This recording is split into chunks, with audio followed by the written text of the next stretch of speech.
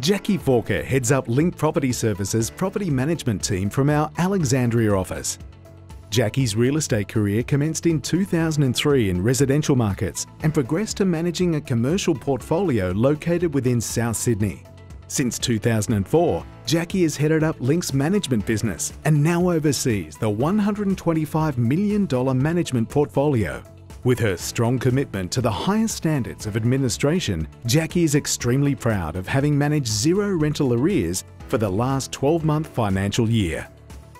Closely aligned with Jacqui but focusing on the administration and management of the Link transactional team is property industry stalwart Jeff Pond. Jeff has worked within the industrial market sector for 40 years, since starting his real estate career as a junior cadet in 1981. Jeff oversees all staff and business operations, ensuring that best practice is maintained across all business lines. Imperative to the ongoing growth and success of Link Property Services is the need to embrace the most appropriate new technology, marketing, and social platforms suited to the industry. It's Jeff's responsibility to ensure this occurs.